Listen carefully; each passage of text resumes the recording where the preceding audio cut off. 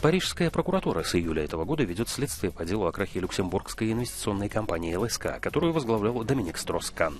На этот раз видный французский политик и экономист, замешанный в ряде сексуальных скандалов, подозревается в мошенничестве и злоупотреблении корпоративными активами.